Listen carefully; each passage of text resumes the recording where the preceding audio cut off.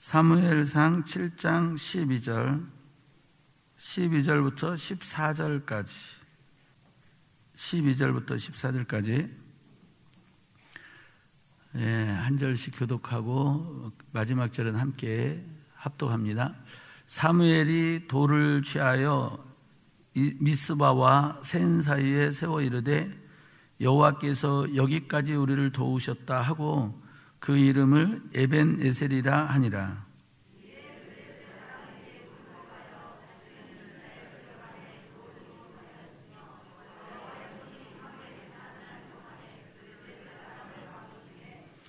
블레셋 같이 블레셋 사람들이 이스라엘에서 빼앗았던 성읍이 에그론부터 가드까지 이스라엘에게 회복되니 이스라엘이 그 사방 지역을 블레셋 사람의 손에서 도로 찾았고 또 이스라엘과 아모리 사람 사이에 평화가 있었더라.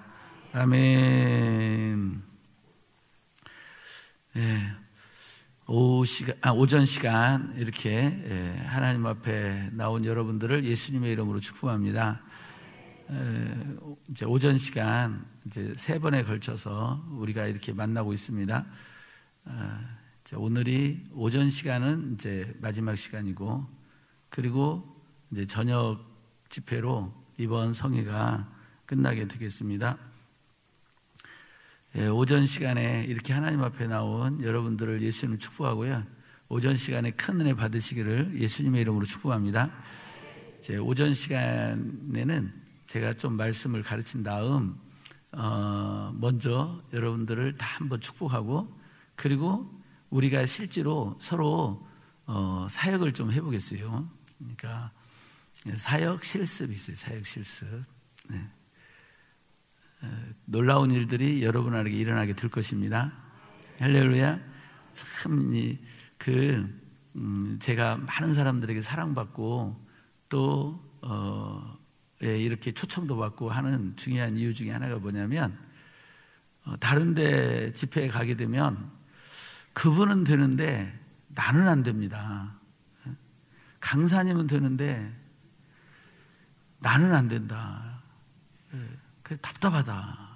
이런 음, 그 분들이 제가 인도하는 집회에 참석하면 강사님이 되는 거 나도 됩니다.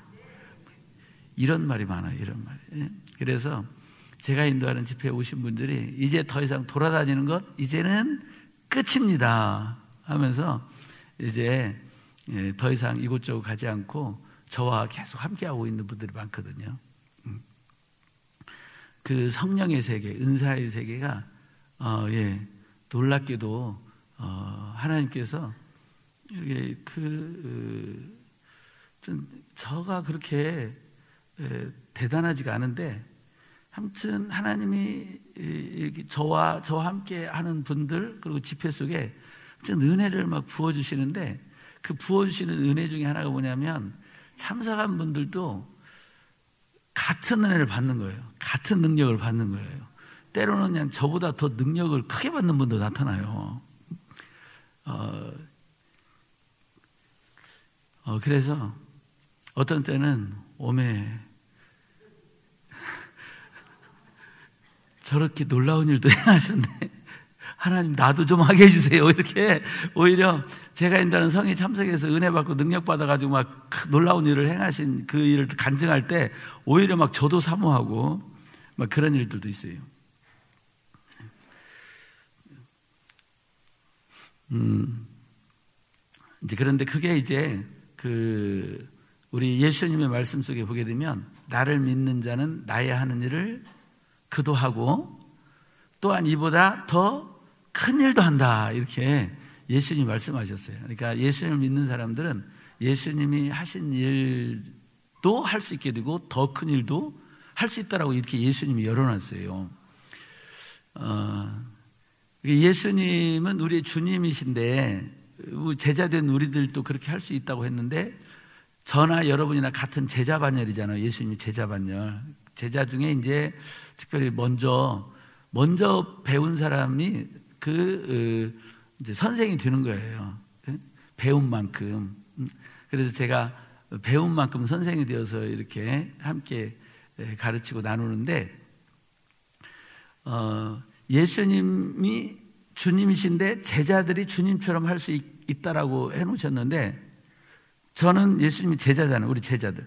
제자들로서 먼저 조금 배워서 가르치는 부분이기 때문에 제자된 저보다 더 큰 일을 하는 것은 너무나 당연한 거죠. 예수님보다 더 큰 일을 할 수 있도록 예수님 말씀하셨는데 저보다 더 큰 일을 하는 것은 너무나 당연한 거예요. 그래서 제가 저를 통해서 은혜 받고 또 기름 부음 받아서 능력 받은 분들이 저보다 더 큰 일을 할 때 그냥 기쁘게 받아들이자 이렇게 생각하고 그냥 기쁘게 받고 있어요. 감사함으로 받고 있어요. 음. 이런 제 모습을 우리 하나님이 좋아할까요? 안 좋아할까요? 분명히 좋아하겠죠. 예? 저보다 더 뛰어난 사람이 나타나는 것에 대해서 제가 좋아, 감사하고 기뻐하는 것에 대해서 그런 모습을 우리 예수님이 좋아하실 거예요. 이게 은혜 받는 원리 중에 하나예요. 쓰임 받는 원리. 무슨 말이냐? 저는 제 생각, 마음, 뭐든지 어떻게 하면 예수님이 기뻐하실까? 어떻게 하면 하나님이 기뻐할까? 내가 어떤 마음을 가질 때 하나님이 기뻐할까? 내가 어떻게 행동을 할 때 하나님이 기뻐할까? 거기에 초점을 맞춰가지고 거기에 초점을 맞춰 이렇게 해요. 주님이 제게 은혜 주셔서 제가 이렇게 가르치고 이렇게 능력 받도록 기름을 붓고 할 때에 그분들에게 하나님이 더 큰 능력을 부어 주셔서 나보다 더 큰 일을 하게 될 때, 더 큰 능력을 나타낼 때에 내가 어떻게 반응하는 것을 주님은 기뻐하실까? 그럴 때 주님 나보다 더 큰 능력 주면 안 됩니다. 이러시면 안 되는 거죠. 이러면 주님이 싫어하죠. 근데 막 자유롭게 막 그 준비된 대로 막 주고 쓰실 대로 막 주고 이렇게 주님이 하실 수 있도록 내가 다 열어놓으면 우리 주님이 너무 좋아하잖아요. 이 목사 마음에 든다. 이렇게. 그래서 저는 항상 그래요. 생각이, 마음이 내가 어떻게 말하면, 말 한마디로라도 예? 마음 자세를 어떻게 하면 예수님이 기뻐하실까? 어? 하나님이 기뻐하실까? 예? 그 다윗이 하나님 마음에 합한 자가 되니까 예? 하나님의 다윗을 만나니까 하나님 마음에 들었다고 그랬잖아요. 그래서 하나님의 뜻을 이루는데 하나님이 다윗을 마음껏 사용하셨습니다. 할렐루야. 그러니까 하나님 마음에 드는 사람이 되는 게 굉장히 중요해요. 하나님 다 그렇잖아요. 마음에 드는 사람을 직원으로 채용하고 쓰게 돼 있잖아요. 심지어 평생 함께 살 사람도 누굴 함께 살 사람으로 택합니까? 마음에 드는 사람이에요. 여기 마음에 들지 않았는데 결혼한 사람. 그 사람 힘들죠, 지금. 마음에 들지는 않지만 조건 보고 뭐 보고 해가지고 어? 결혼한 분들은 지금 힘들어. 예? 그 마음에 드는 사람을 결혼해야 돼. 음? 할렐루야. 예, 우리 마음에 드는 게 중요해요. 우리 하나님 마음에 들면 하나님이 붙잡아 씁니다. 가난에도 쓰고요. 연약해도 쓰고요. 어, 근데 하나님이 쓰는 순간 우리의 인생은 달라져요. 우리의 인생은 달라집니다. 아멘. 그래서 예, 어, 오전 예배 참석한 여러분 모두가 다 하나님 마음에 들어가지고 하나님께 쓰임 받는 분이 되기를 예수님의 이름으로 축복합니다. 서로 축복할 때 하나님 마음에 되, 마음에 드는 분이 되기를 예수님 축복합니다. 이렇게.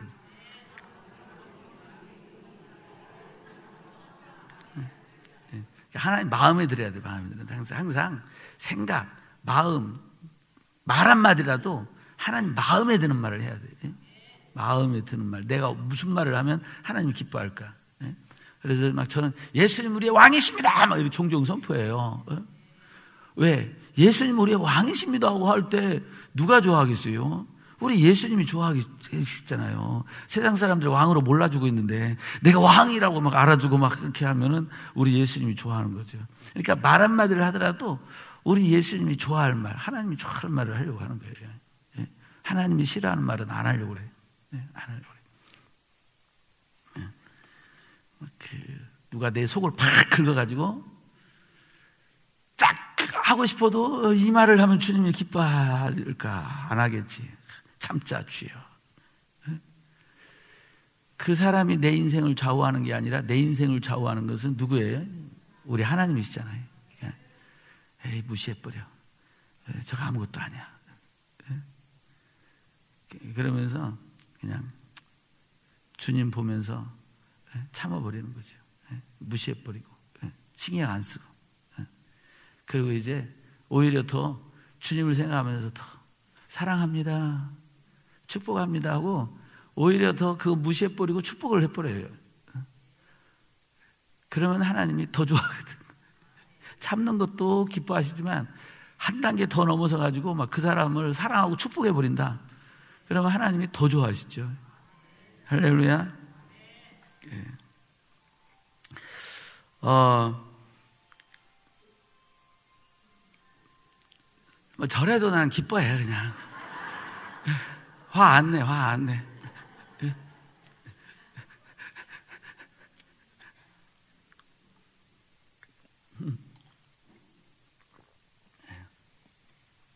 본인도 얼마나 미안하, 미안하겠어요. 미안한데 거기까지 막 화까지 내면 그냥 죽고 싶죠. 그래서 제가 이렇게 한번 웃어버리면 아이고 죄송하다. 그러나 마음이 싹 녹여 녹아지잖아요. 편안해지잖아요. 어, 제가 성회를 인도하고 이제 1차, 2차, 3차 이렇게 인도해 가는데 성회가 점점 뭐 소문이 나고 사람들이 막 찾아오게 되고 이렇게 되고 있었어요. 어, 그러다 보니까 어, 그 동영상에 이렇게 그 안수할 때 그 목사님 아, 안수할 때 그 목사님이 이제 나중에 쓰러지고 아뜨거까지 나오잖아요.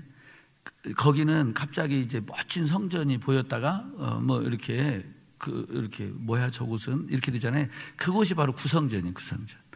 그 상가 지하에 있는 성전에 거기서 이렇게 하다가 하나님의 은혜로 어, 여러분들이 동영상에 본 그런 그 아름다운 성전, 정말 기가 막히게 좋은 성전을 건축해 가지고 이제 그 성전에서 어, 이렇게 성회를 한 지 벌써 이제 1년 됐어요. 그런데 이제 그 구성전에서 어, 성회를 인도하고 어, 인도를 성회를 구성전에서 능력받고 이제 그 성전에서 어, 성회를 인도하고 있었는데 성전이 작아요. 예, 이제 그 예배당 전체는 120평 정도 되는데 120평 정도 되는데 이제 그 성전 자체만은 한 50평이에요. 50평 되고 그다음에 이제 여러 그, 그 지하 전체를 저희들이 다 쓰고 있었거든요. 전체가 다 120평인데 예배당 그 주 예배당은 50평 되고 그리고 이제 여러 룸들이 있고 목양실이 있고 또 그 식당이 있고 뭐 이렇게 이제 갖춰져 있는 거거든요. 그러니까 주 예배당은 한 50평 정도 되는 거예요. 좁아요. 어, 그래서 이제 사람이 많이 늘어나게 되니까 어, 우리 성회는 제가 인도하는 성회는 이렇게 말씀만 듣고 끝나는 성회가 아니라 이제 기도 받고 또 어, 이렇게 사역도 받고 이제 기름 부음을 위한 기도 받고 그 다음에 이제 악한 영을 대적하고 쫓아내는 사역도 받고 이게 이제 제가 인도하는 성회거든요. 그래서 이제 하나님이 기뻐하는 새 사람으로 만들어내는 거예요. 그걸 갖다가 새 타작기계라고 그래요. 새 타작기계. 그러니까 우리 그 여호와 하나님이 이제 그 제가 인도하는 이 성회를 통해서 하나님의 남녀 종들을 새 타작기로 만드는 일을 하셨어요. 음. 그래서 이제 타작기로 만들 때에 그 이제 예를 들어서 연장을 새롭게 만들려면 뭐 연장을 갖다가 불 속에 집어넣어요. 불 속에 집어넣어 달군 다음에 그걸 갖다가 이제 두들겨 가지고 이제 날 날이 쓰도록 이렇게 만들거든요. 그래서 제가 이제 말씀으로 이렇게 그 어, 말씀으로 또 안수로 이렇게 성령의 불 가운데로 이렇게 달궈 가지고 그 다음에 이제 우리 사역자들이 나가 나가 하면서 이렇게, 이렇게 두들기는 것 같아요. 나가 나가 두들기. 이제 그래가지고 이제 그 나릿은 날카로운 타작기로 새 타작기로 이렇게 만드는 일을 하는 게 제가 인도하는 성이거든요. 그러니까 공간이 이렇게 의자에 앉아가지고 어, 어, 이렇게 말씀을 듣다가 어, 여기는 이렇게 앞에 그렇게 이렇게 그 공간을 만들어 놨지만 이제 저희는 작은 교회니까 앞에 공간이 없거든요. 그러면 이제 어떻게 기도받는 시간 어떻게 하냐면 의자를 뒤로 미루는 거예요. 장의자를. 뒤로 딱 미루고 앞에 공간을 확보한 다음에 이제 바닥에 깔아요. 이제 그 깔판을 쭉 깔어. 깔고 이제 에, 기도받으면 이제 쓰러지고 그러면 이제 나와 나와 하고 이렇게 하는 거예요. 그런데 이제 참가자가 많아지니까 이 장의자를 이렇게 뒤로 밀어도 이게 밀어도 이렇게 앉아 있는 공간만큼은 이렇게 하지 장이 그 공간 확보가 그 충분하지가 못하잖아요. 그래서 이제 사람이 많이 늘어났으니까 장의자를 이 안에다 두면 안 되겠다. 예? 어떻게 이 뒤로 장의자를 밀어도 그 장의자 크기가 있기 때문에 예배당 공간이 많이 안 만들어지는 거예요. 사람이 이제 많이 오니까 부족한 거죠. 그래서 안 되겠다. 그러면은 일단 앉아서 이렇게 강의는 들어야 되고 그리고 이제 또 기도받을 때는 공간이 확보돼야 되겠고 그래서 개인 의자를 이거 장의자를 내보내고 개인 의자로 바꿔야 되겠다.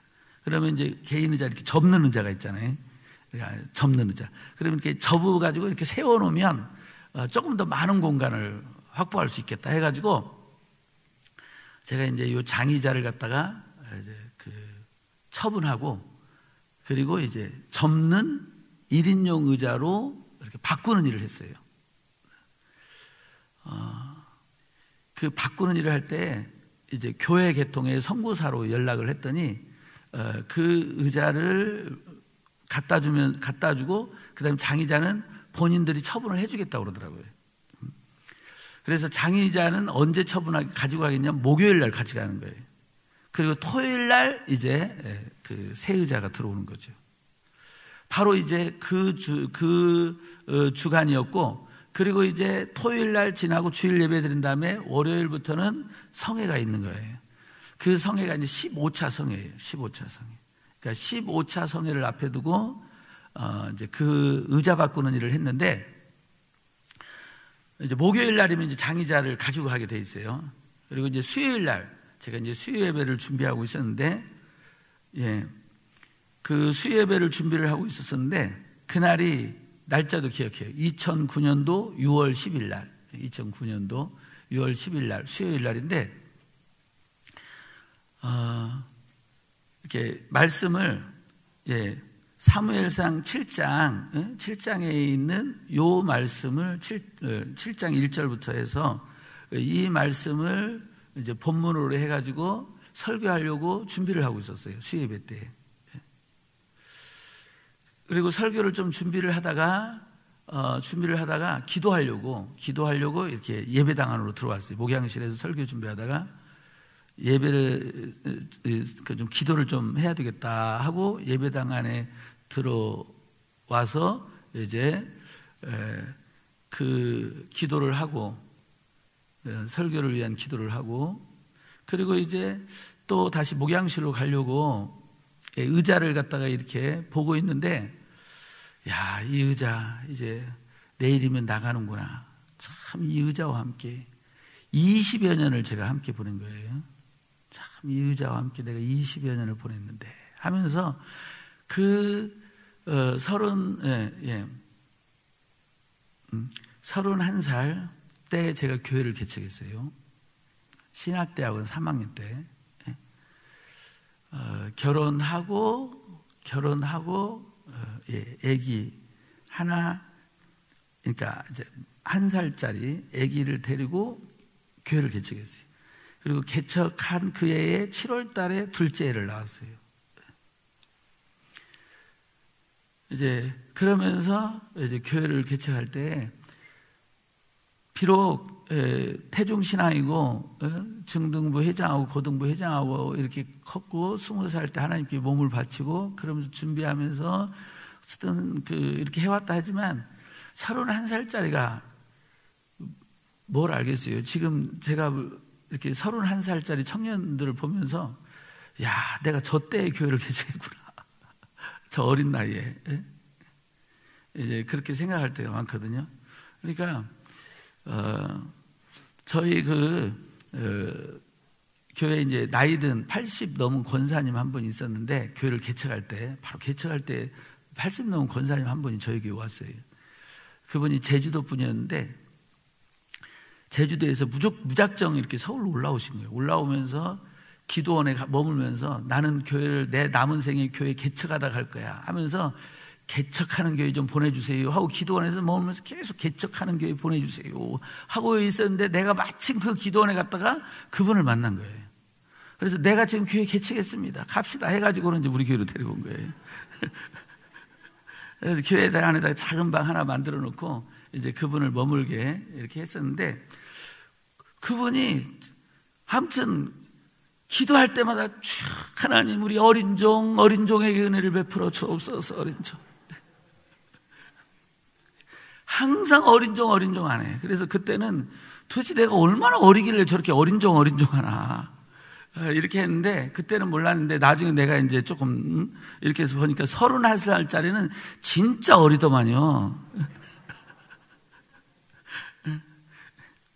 예, 그 어린 나이에 이제 교회를 개척한 거예요. 아주 고생을 엄청 많이 했죠. 예. 에, 그러면서 이제 그 20여 년이 이렇게, 예? 그런 그 가운데서 20여 년 동안 교회를 그곳에 가기까지 다섯 번 이사를 했어요. 예?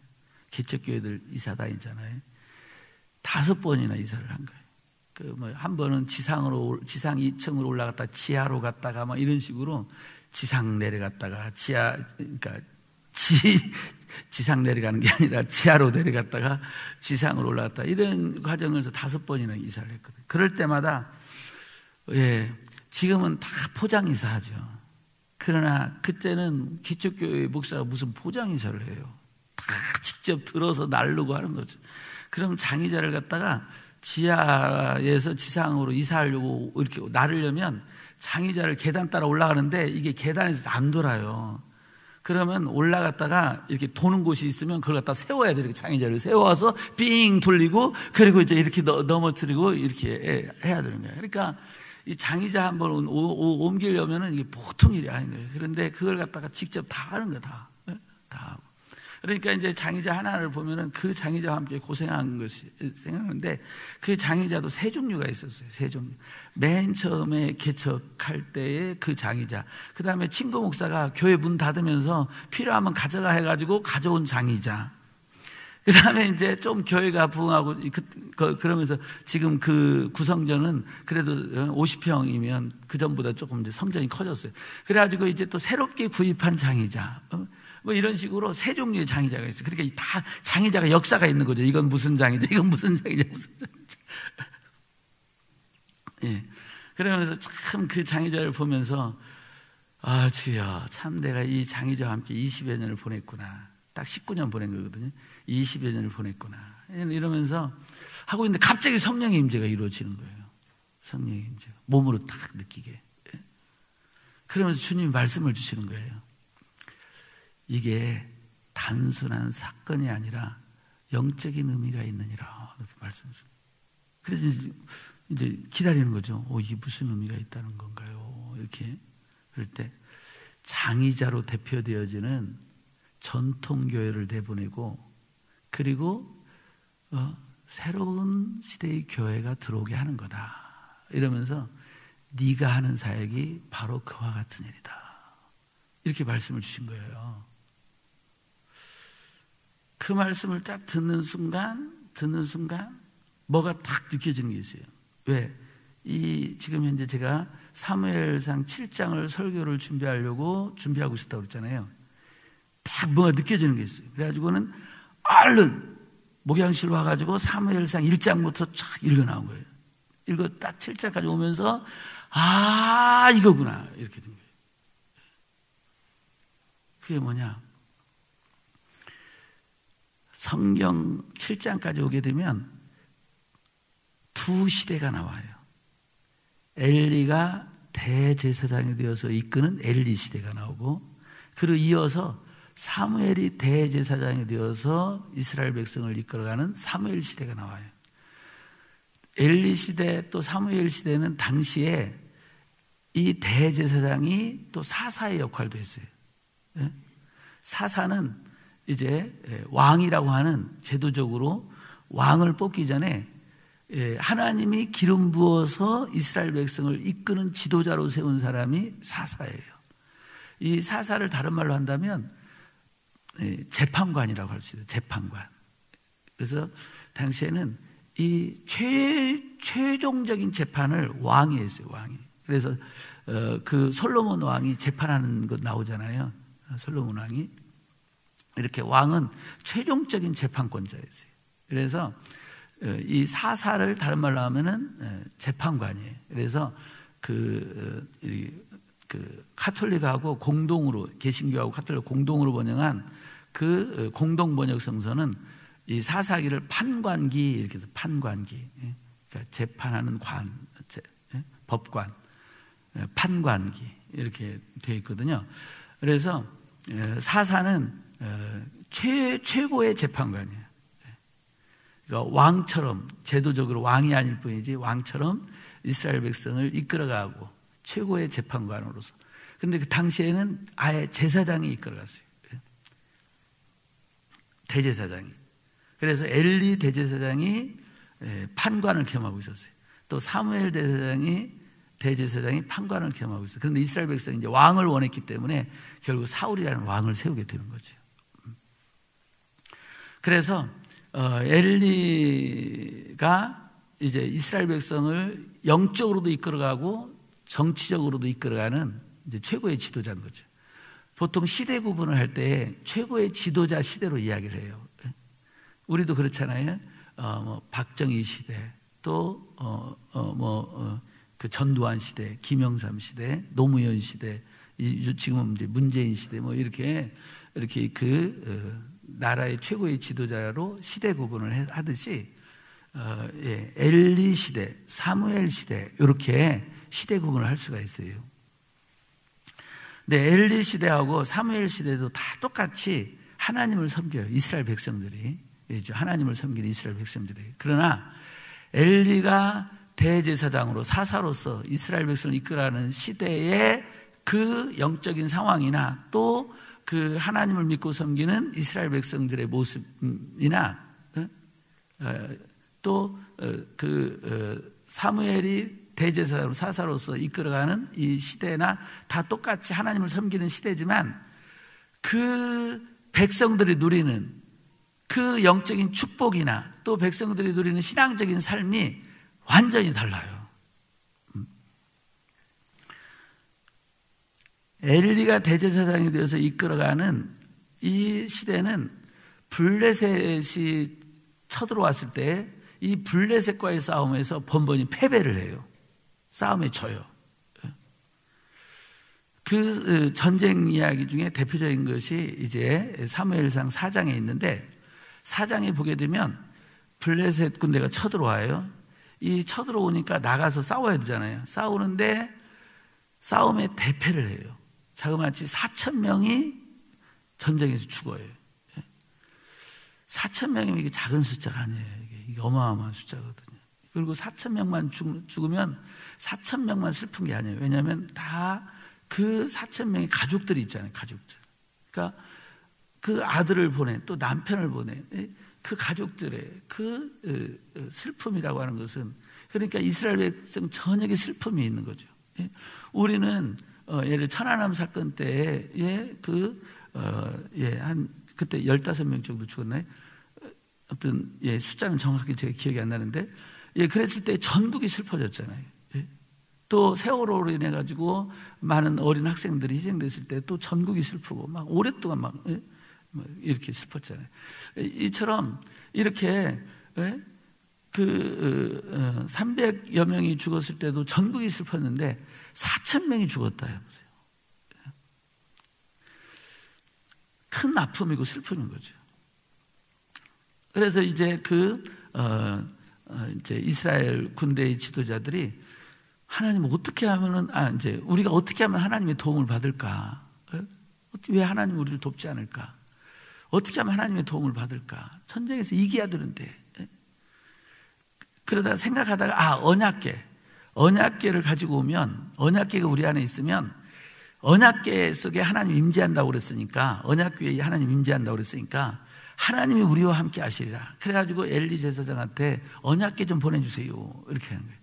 그래서 엘리 제사장이 두 아들 홈리와 비나스에게 이 언약계를 가지고 가라. 그래서 두 아들이 가져와서 어 이제 언약계를 가져오게 되니까 이스라엘 백성들이 이제는 하나님이 우리를 도우시리라 힘내자 해가지고 힘내가지고 전쟁에 나갔는데 하나님의 도움을 받기는커녕 전혀 도움을 받지 못하고 전쟁은 더 비참하게 패배를 해요.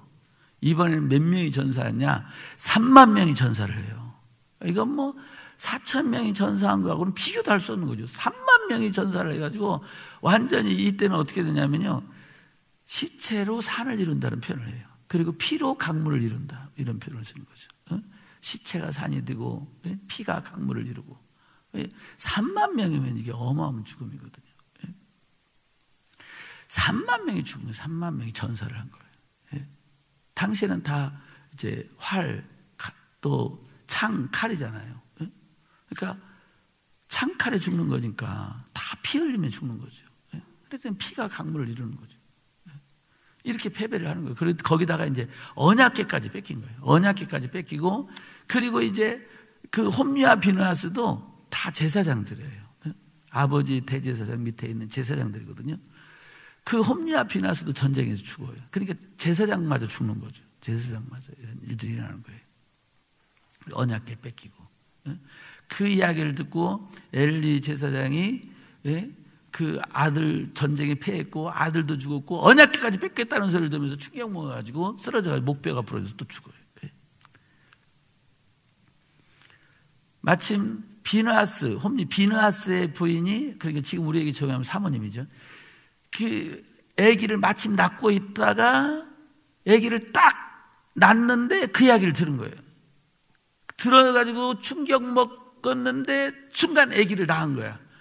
그런데 아기를 낳는 순간 그 이야기도 듣고 아기는 낳고 남편도 죽은 거잖아요. 전쟁에 패배하고 언약 뺏기고 남편 죽고 시아, 시 아버지 죽고 막 대제사장이 죽은 거죠. 막 이런 이야기를 듣고는 충격 먹고 아마 그 안타까움에 쥐야 했는지도 몰라요. 우리가 쥐야 하면 힘나 힘 힘줘주잖아요. 모르겠어요. 어쨌든 그 중간에 힘을 줬는데 주여 하고 힘줬는지 아기가 나와버렸어요. 아기가 나오는 순간 이가봇 하고 외쳐버려 이가봇. 근데 이가봇 하고 살았어야 되는데 이가봇 하고 죽어버린 거예요. 그래서 아기를 받은 이 산파가 이가봇 하고 외치고 죽으니까 아기 이름 져줬나 보다 해가지고는 아기 이름을 이가봇이라고 짓는 거예요.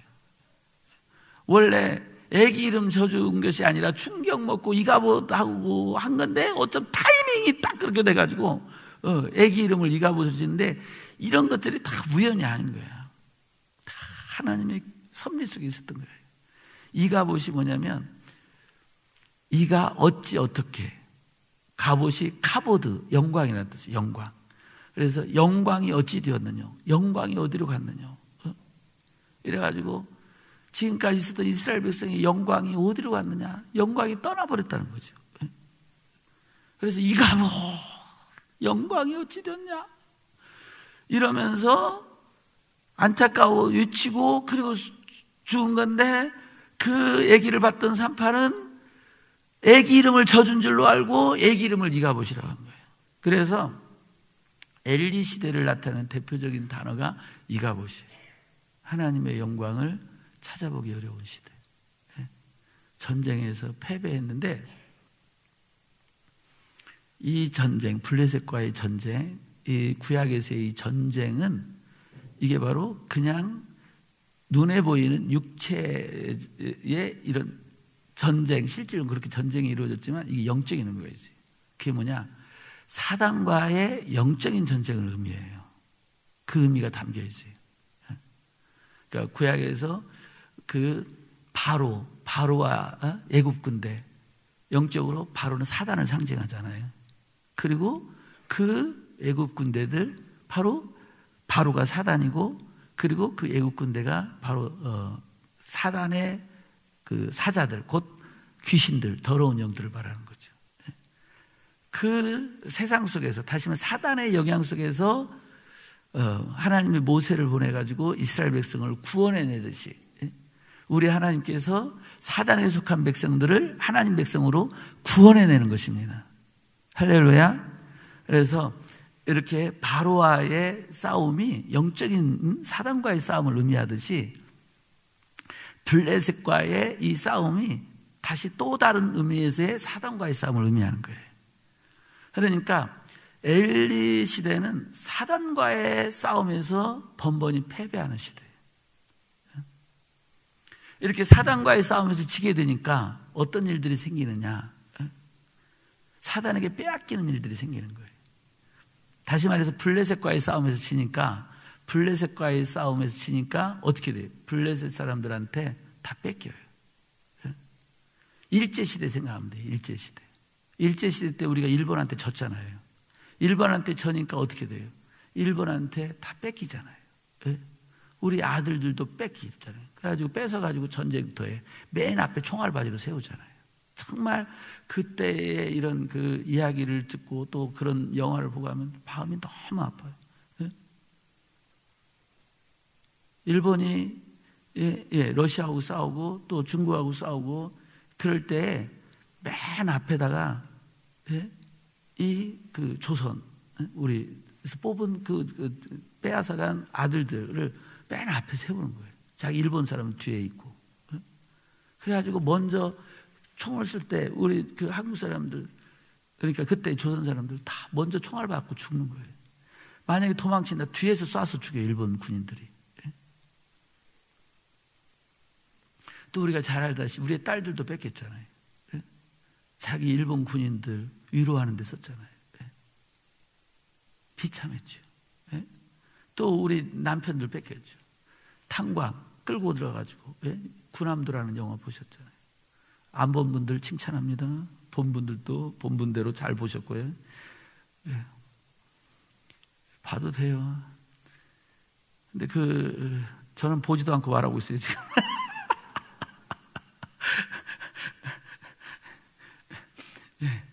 예, 군함들하는 영화 보신 분들, 예, 보신 분들. 예, 얼마나 비참해요, 한국 사람들. 끌려가가지고 깊은 탄광에 들어가서 연탄 캐는 일을 하는 거죠. 예.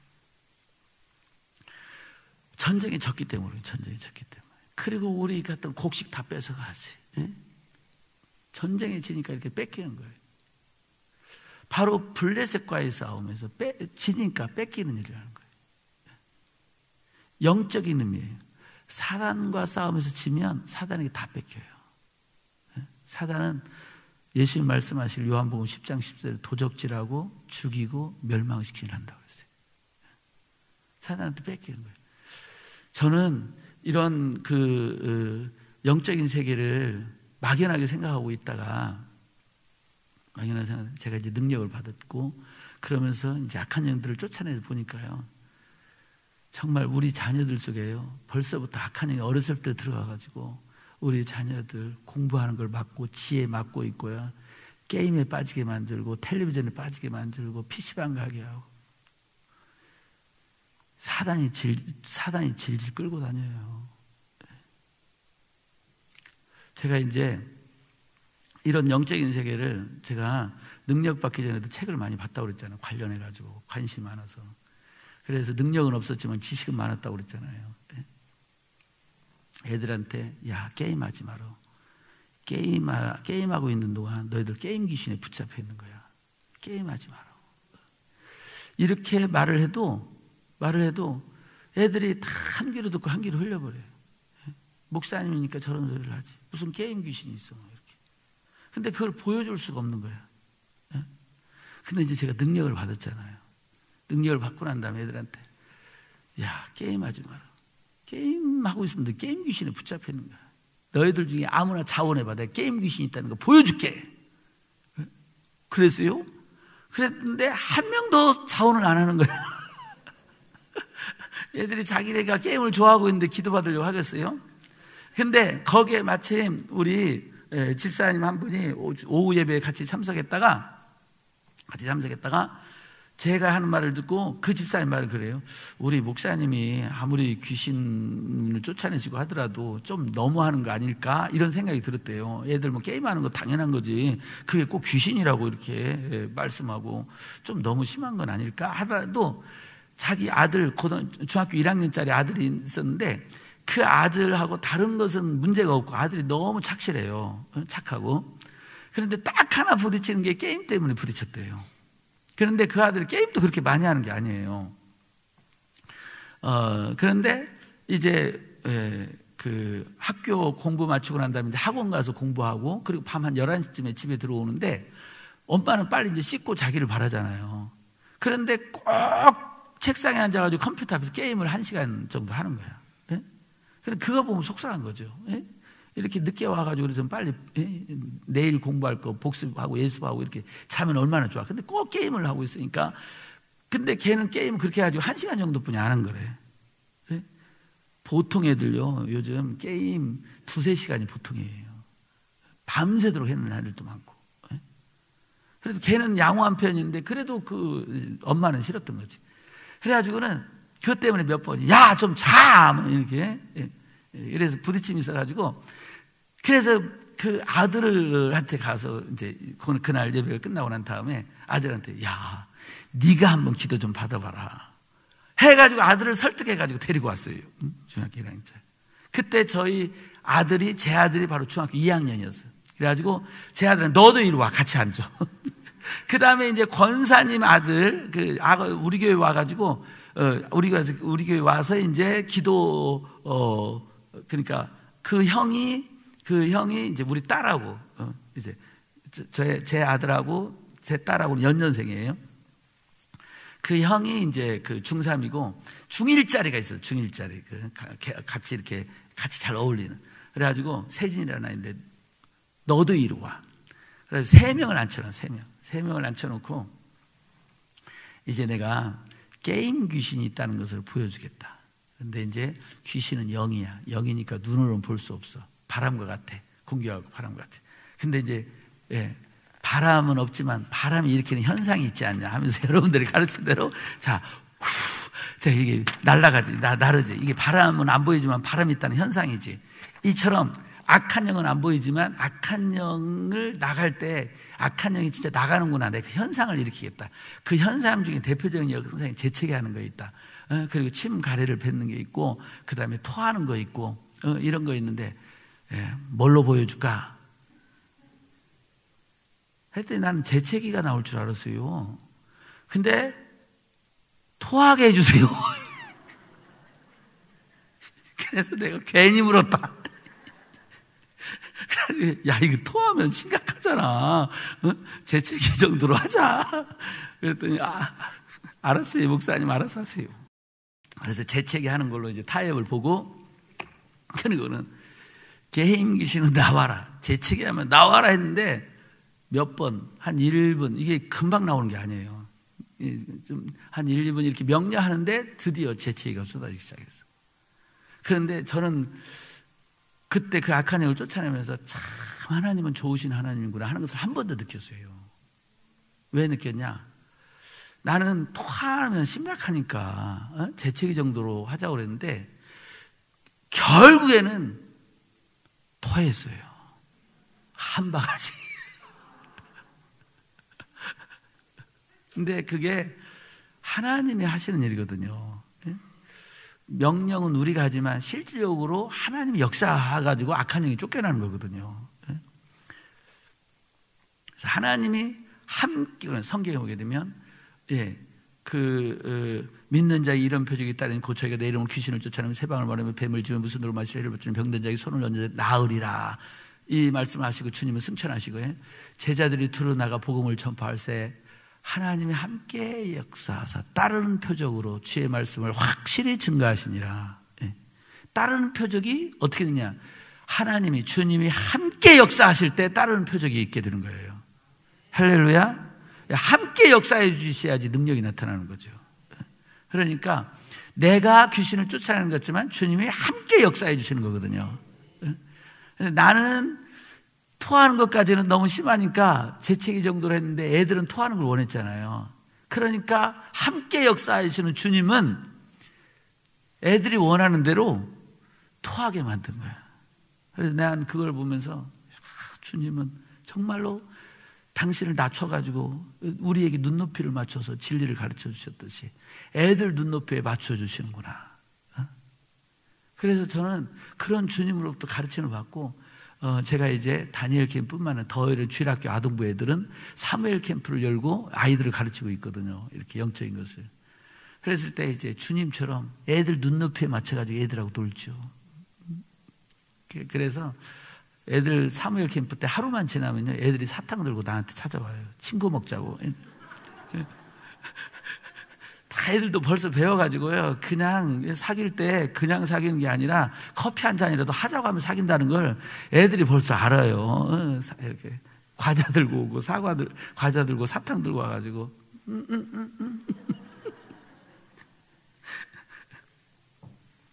그래 제 별명 중에 하나가 뭐냐면 우리 이제 그 다니엘 캠프에 참석한 학생들이 붙여준 별명인데 별명 중에 하나가 뭐냐 흰머리 소년. 흰머리 소년. 어, 그 아이들하고 같이 같이 있는 게 좋아요. 음? 또 어린 아이들들은 어린 아이들 같이 막 같이 뒹굴고 그래 설교할 때도 뒹굴어요 같이 막 뒹굴면서. 예? 근데 그걸 주님한테서 봤어요. 야, 우리 예수님도 우리와 같이 대화하시려고 우리와 똑같은 사람의 모양으로 오셨듯이. 근데 그, 그 그랬는데 아이들을 어, 위해서 기도해 줄 때 애들이 토하자고 토하게 해달라고 그랬는데 나는 그게 심각하니까 재채기 정도를 하자고 그랬는데 주님은 애들이 원하는 대로 토하게 해준 거예요. 그래서 아이들한테 진짜 확실하게 보여줬죠. 게임 귀신이 있다는 거. 그리고 그 아이가 게임 끊었냐? 게임 끊었어요. 그래서 얘한테 물어봤어요. 기도받기 전하고 기도받은 이후에 차이가 뭐냐 하고 그랬더니 기도받기 전에는 자기가 절대로 오늘 학원 끝나고 집에 가면서 오늘 절대로 내 게임하지 말아야지 하고 오는데 집에 와서 딱 씻고 앉는 순간 자기도 모르게 컴퓨터 자기도 책상에 앉아버리고 자기도 모르게 컴퓨터를 킨대. 그래서 게임을 하게 된대. 안 하려고 해도 된대. 그런데 은혜 받고 난 다음에는 전혀 생각은 없는 건 아니래요. 가끔 생각은 들어온대. 근데 안 할 수 있는 힘이 생겼대요. 그래서 안 하게 됐대. 예. 다시 말해서 그동안 게임 귀신한테 지고 있었던 거예요. 본인도 모르는 사이에 지고 있는 거예요. 지고 있는 거죠. 예. 그 제가 인도하는 그 다니엘 캠프에 온 애는 게임을 갖다가 하루 종일 컴퓨터와 게임을 하루 종일 하는 거야. 하루 종일. 아니, 아니, 밤새도록, 밤새도록 하는 거예요. 밤새도록. 학교 갔다 오면 밤새도록. 중3짜리 여자애인데 밤새도록 하는 거예요. 그리고는 얘가 말하기를 학교 가면은요, 얘 간증이에요. 조회 시간에, 딱 조회 시간에 잠자기 시작해가지고 딱 깨면 종례를 하고 있더래요.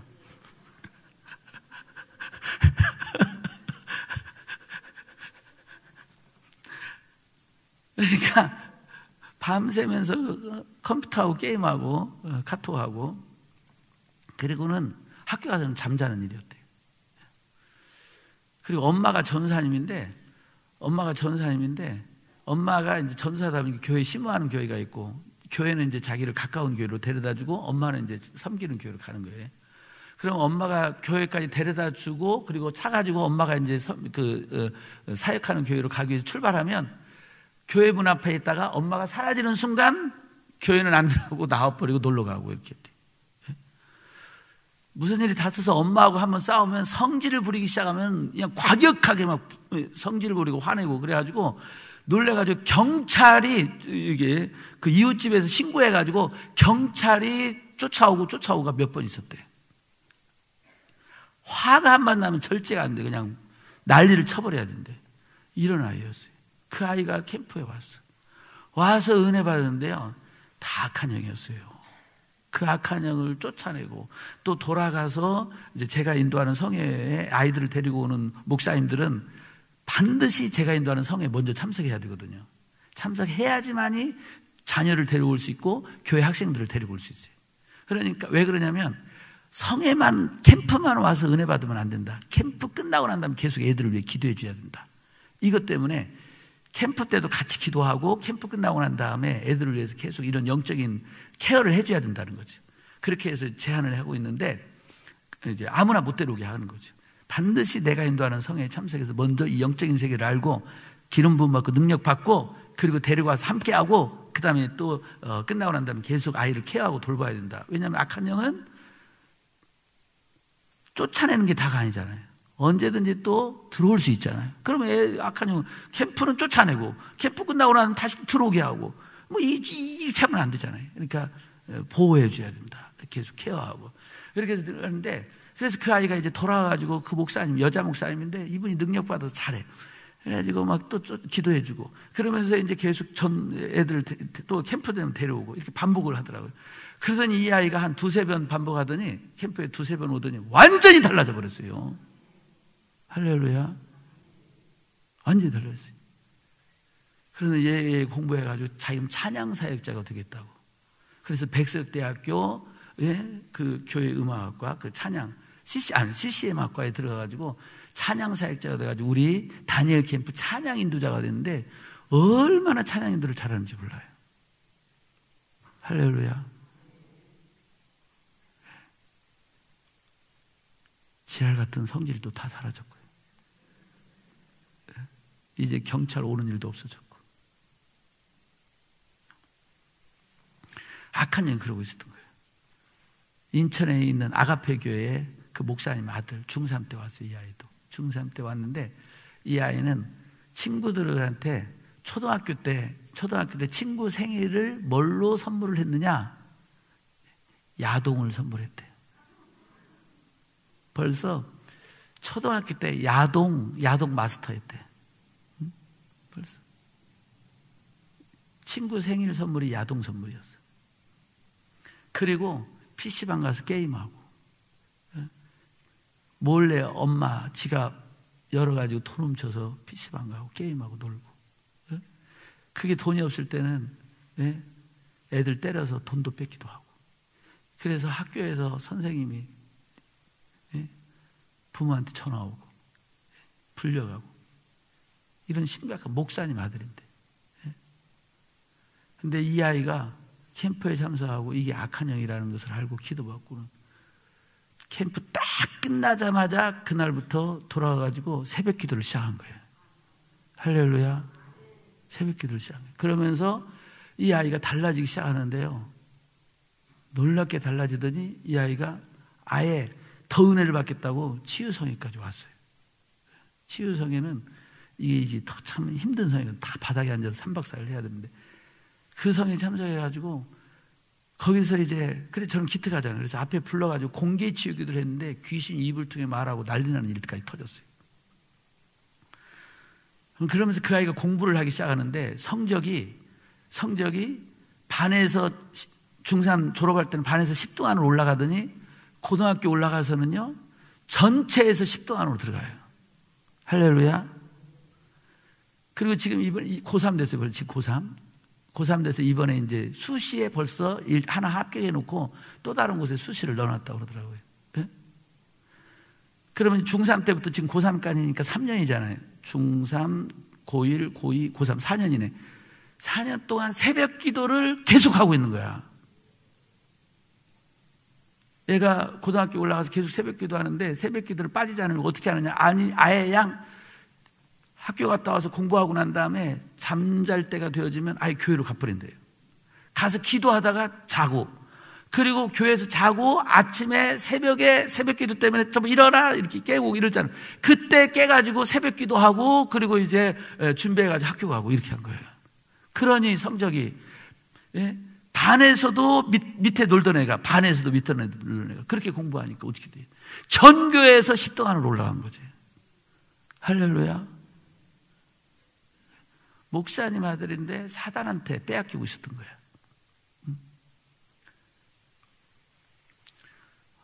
예, 이, 이걸 제가 이제 알게 된 거잖아요. 아, 악한 영들이 이렇게 우리 자녀들 속에 어렸을 때부터 들어가서 역사하고 있구나.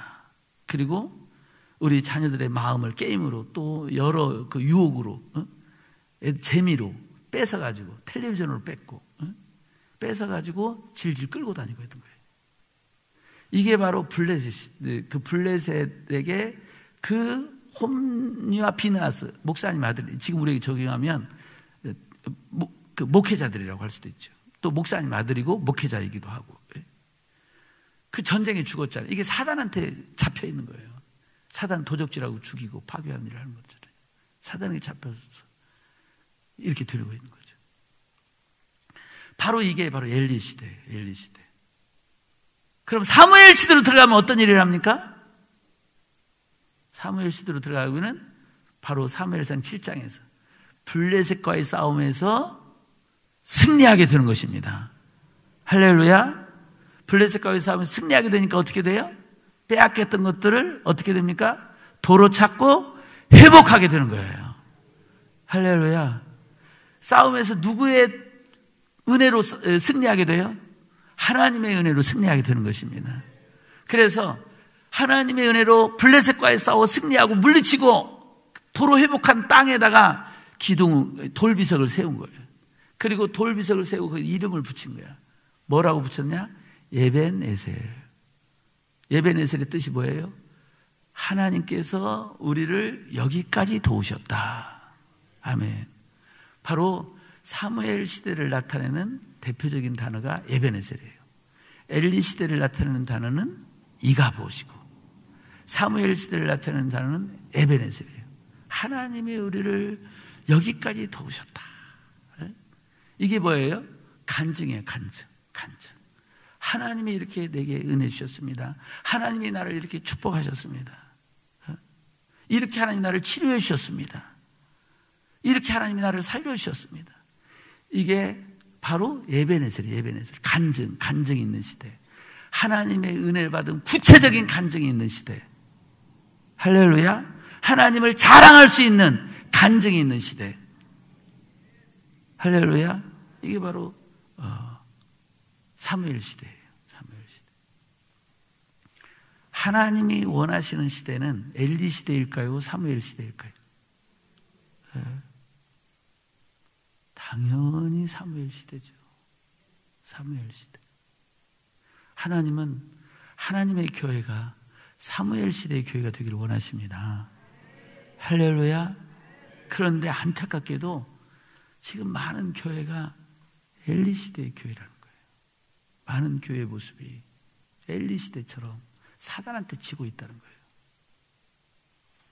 너무나 안타까운 것은 사단한테 지고 있으면서도 사단한테 지고 있다고 하는 것조차 모른다는 거예요.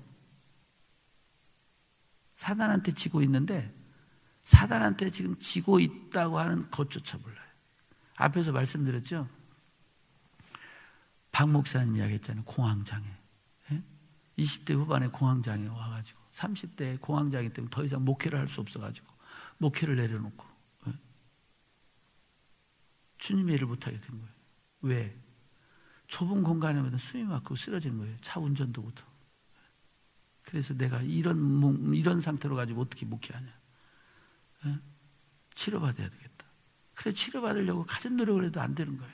그 과정 속에서 하나님께, 하나님 나는 왜 이렇습니까? 하고 하나님 이 문제를 해결하겠다. 이건 내 문제다. 기도하는데 40일 금식 기도를 두 번이나 했다고 그랬잖아요. 20일 금식 기도는 다섯 번이나 하고. 3일 예? 금식, 5일 금식은 수도 세도 수시 많이 하고 그런데도 치료가 안 되고 20년을 목회를 못하고 있었던 거죠. 예? 그런데 제가 인도하는 성에 와서 몇 분 기도받았다고 그래요? 20분 기도받고 깨끗하게 치료돼가지고 지금 목회 잘하고 있죠. 할렐루야. 어떻게 된 거냐? 그 목사님 악한 귀신이 내 안에 들어와서 귀신이 나를 이렇게 공황장애로 목회 못하게 하고 있다고 하는 것에 대해서 한 번도 생각하지 못했다는 거예요. 내 문제인 줄 알았지 내가 귀신한테 지고 있다고 하는 것을 생각하지 못했다는 거예요. 저는 이제 주님이 아, 이 영적인 세계를 알려주셨기 때문에 예? 목사님한테 그럼 잠깐 기도합시다. 해가지고 다른 거 없어요. 공황장애를 주고 있는 악한 영을 떠나가라. 했는데 재채기가 쏟아져 나오기 시작하는 거예요. 20분 동안 계속 쏟아지는 거예요. 그리고 20분 정도 기도한 다음에 자 그럼 확인해 봅시다 하고 어, 우리 그 어, 구성전 예, 지하 계단 내려오는 그 계단 밑에 아 계단 계단 바로 밑에 아주 좁은 창고가 있었거든요. 저 창고에 한번 들어갔다가 들어가 보시라고. 그래서 그 창고에 들어가게 했는데 네, 그 그분 목사님을 기도할 때 옆에서 구경하고 있던 목사님 세 분 정도가 있었는데 그 중에 한 분이 친절하게 같이 데리고 와가지고 창고 속에 집어넣고 그리고 본인은 그 앞에 서 있고 그래서 시계 한 3, 4분 지난 다음에 네, 목사님, 그 문, 서 있는 앞에 있는 목사님, 목사님 문 좀 열어주세요. 열어주고, 목사님, 나와보세요. 할 때 제 마음이 뭐였다고요? 왜? 나사로야, 나오너라. 하는 그런 심정이었다고요. 예? 근데, 과연 어떻게 될까 했는데, 예, 얼굴이 밝은 얼굴 나오는 거예요. 치료가 안 됐으면 얼굴이 긴장돼 있고, 힘들고 아니면 쓰러져 있고 이랬어야 되는데. 20분 만에 치료될 수 있는 걸 갖다가 20년 동안 목회 못하고 있었어요. 본인은 이것이 사단에 의해서 내가 이렇게 되고 있다까지를 생각 못한 거예요. 사단한테 지고 있었던 거죠. 그런데 사단한테 지고 있다고 하는 것조차 모르고 있었던 거예요. 홍진희 목사님이라고 김제에서 목회하고 있는 분이 있어요. 우리 통합교단이야. 그분이 제가 인도하는 성이 오기 전 7년 전에 성령을 강력하게 받았대요. 성령을 강력하게 받아가지고 어? 온 그냥 성령이 온 몸에 느껴질 정도로 막 그렇게 받고 성령이 기도로 이끄시는데 새벽 기도 가면은 그냥 아침밥 먹을 때까지 계속 기도로 이끄시더라는 거예요. 기도하고 아침밥 먹고 좀 쉬려고 그러면 또 성령님이 교회로 막 몰아내듯이 이렇게 교회로 보낸대요. 마치 예수님을 광야로 성령이 막 이렇게 몰아내듯이 한 것처럼 성령이 기도를 시킨다는 거예요. 그러면 이제 점심 먹을 때까지 기도한대. 그럼 점심 먹고 난 다음에 좀 쉬려고 하면 또 성령님이 기도를 시킨대. 저녁 먹을 때까지 기도한 저녁 먹고 난 다음에 쉬려고 하면 또 성령이 또 기도시킨대. 12시까지 기도한대. 그래서 하루, 하루 종일 기도를 하고 그랬대요. 그래서 내가 그래서 매년 계속 그랬냐 그랬더니 어, 계속 그런 걸 한 1년 정도 그러다가 그다음부터는 이제 그 정도는 아니었는데 그래도 매일 하루에 5시간 정도는 기도를 했대. 7년 동안. 예? 그 정도로 기도했고 어느 정도로 기도했느냐? 한 번은 부르짖어 기도하고 있는데 예, 그분은 이미 이 카라의 기도, 짝의 기도 이 기도를 다 하고 있었어요. 부르짖는 기도를 하고 있었는데 아랫배에서 뭐가 찢어지는 데서 악 하고 아픔이 오더래. 악 하다가 또 주여 한번 하는데 또 악 그래가지고 더 이상 아파가지고 더 이상 기도를 할 수 없어가지고 배를 움켜잡고 병원에 갔대요. 병원에 갔더니 의사 선생님이 엑스레이를 찍어보고는 깜짝 놀래가지고는 목사님 뭐 하셨어요? 왜요? 배 근육이 파열됐습니다. 저는 지금까지 기도하면 예수님의 겟셋만의 동산에서 기도, 어, 땀방울이 핏방울 정도의 기도, 그 기도 최고의 기도죠. 그리고 우리가 그렇게 기도해야 된다. 그러면서 기도할 때 많이 하려면 간절히 기도해야 된다. 간절히 간절히 기도가 뭐냐? 간이 저리도록 하는 게 간절히 기도하는 거다. 이렇게 했는데 나는 기도하다가 배 근육이 파열됐다는 얘기는 처음 들어봤어요. 그래서 내가 해외에 가서 이렇게 집회 인도할 때는 우리 한국 사람들은 어떻게 기도하는 줄 아냐? 배 근육이 파열될 정도로 기도한다. 그러면서 우리 홍 목사님 간증을 많이 해요. 그래서 우리 홍 목사님은 본인도 모르는 사이에 벌써 세계적인 사람이 됐어요. 한국에서는 이렇게 기도한다. 배 근육이 파열될 정도로 기도한다. 그렇게 기도를 하는 사람이었어요. 그런데 그분이 제가 인도하는 성에 올 때까지 그렇게 기도를 하고 있었는데 이분한테 만성 위장병이 있었어요. 그것도 1년 아니라 20년 동안이나. 만성 위장병. 그래서 항상 위장약을 달고 다녀. 김치 쪽 하나를 못 먹어. 커피 한 잔을 마시지 못해. 왜? 너무 먹고 싶어서 김치 쪽 하나 먹었다 난리가 난대요. 배가 쓰리고 아파가지고. 그래서 막 위장약 겔포스를 하나, 한 포로 안 되는데 두 포스를 막 쏟아부어도 그런데. 예? 근데 만성 위염으로 그렇게 고통받고 그래서 항상 책상 안에는 약봉지가 있고 종종 편두통이 온대. 그럼 편두통, 예, 여러분 편두통 알아보셨나요? 예? 이게 야, 한쪽이 아파오는 거 이게 미치는 거예요 이게 예? 편두통. 편두통이 온대. 제가 보니까 이제 위장에서 올라오는 열기에 의해서 열에 의해서 편두통이 온 거지. 편두통이 온대. 그럼 편두통 약, 고통. 그래가지고 그냥 이렇게 기도하는데 위장병 하나 왜 치료가 안 될까? 어? 그랬는데 제가 인도하는 성에 참석하고 깨끗하게 치료됐어요. 어떻게? 아, 이게 귀신이었구나. 그러면서 이 악한 영을 쫓아내는 순간 그렇게 치료 안 되던 위장병이 깨끗하게 치료된 거예요. 성에 오기 전까지 본인은 이렇게 성령 충만하고 내가 이렇게 기도하는데 악한 영이 있으라고는 생각지도 못했대요. 생각지도. 그러니까 악한 영한테 지고 있었는데 지고 있다고 하는 것조차 몰랐듯이 한국 교회가 많은 부분이 그렇다는 거예요. 다는 아니고 많은 한국 교회가 이 악한 영들 사단의 존재 역사에 대해서 막연히 생각하는 거예요. 그래서 사단한테 지고 있는데도 지고 있는 것도 몰라요. 합동 교단에 한국 교회에서 제일 교회 수가 많고 제일 큰 교단이 합동 교단이에요. 교회 수는 합동 교단보다 좀 작지만 이제 저는 이제 통합 교단 목사로서 한국의 가장 영향력이 큰 교단은 통합 교단. 예, 제가 이렇게 하면 이게 방송에 나가면 합동 교단에서 열 받을지도 몰라요. 그러나 내가 통합 교단의 목사로서 말하는 거죠. 한국의 가장 영향력이 큰 교단. 통합교단. 그러나 이제 교세와 교회 수로는 합동교단이 제일 커요. 그 교단에 예, 총회 총, 총무 목사 정도 되면 대단한 분이에요. 대단한 권세를 가졌어요. 그런데 우리가 이미 뉴스가 나서 알잖아요. 그 총무 목사님이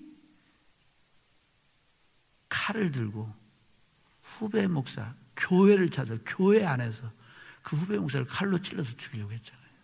예? 그래서 그 일로 인해서 지금 감옥에 갇혀 있잖아요. 예? 이게 뭐냐? 이게 바로 악한 영이 악한 영. 악한 영이 예? 그 목사님 안에서 후배하고 싸우게 갈등을 일으키고 그리고 결국에는 저 후배는 죽여버려야지 이렇게 된 거예요. 물론 그 목사님 말은 죽이려고 한 건 아니라는 거예요. 음? 죽이려고 가지는 않고 어쨌든 대화로 설득해 가지고 어? 그렇게 하지 말아라. 두 분, 둘 사이 이제 갈등이 일어난 거거든요. 예, 그로 인해 가지고 이 총무 목사님한테 이제 불리한 상황들이 생기고 그래가지고 이제 그 후배 목사 형 동생 하는 사이래요. 형 동생, 형님 근데 그런 사이에 일어난 거예요. 마치 가인이 아벨을 때려 죽인 것처럼 그 사건이 지금도 그렇게 일어나고 있는 거예요. 그래서 실제로 본인은 죽이려고 한 건 아니고 어쨌든 예? 내가 이렇게 너 살고 나 살, 너 살고 나 살고 아니라 너 살고 나 살든지 너 죽고 나 죽든지 이렇게 어떤 그 그런 마음을 보이려고 칼을 들고 한 거지 실제로 죽이려고 한 건 아니다. 뭐 이렇게 말하지만 그러나 어떻게 갈등이 나서 화가 나고 찔러버린 걸 어떻게? 그래 실제로 하마터면 죽, 죽일 뻔했는데